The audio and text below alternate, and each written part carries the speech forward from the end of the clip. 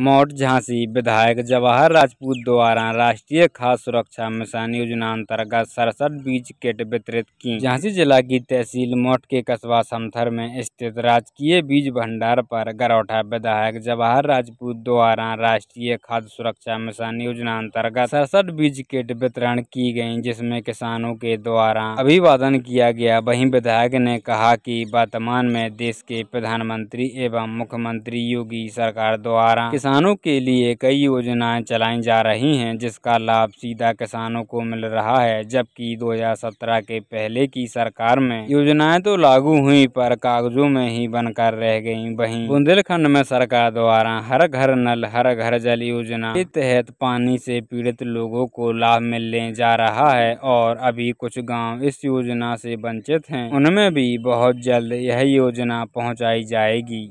जी, आज आपकी उपस्थिति में क्या कार्यक्रम किया गया और लगभग कितनी किटें वितरण की गई किसानों को?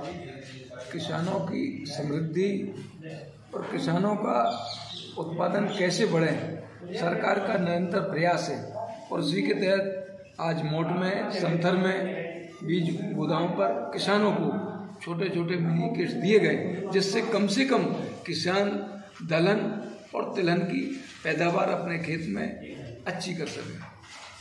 क्या भविष्य में भी किसानों के लिए और क्या क्या नई योजनाएँ लाएँगी? ये आपने सुना होगा, जानकारी होगी कि वास्तव में बुंदेलखंड के लिए यशस्वी प्रधानमंत्री जी और हम सबके वास्तव में महाराज जी, उत्तर प्रदेश के यशस्वी मुख्यमंत्री जी लगातार प्रयास है कि बुंदेलखंड का कैसे चौमुखी विकास हो।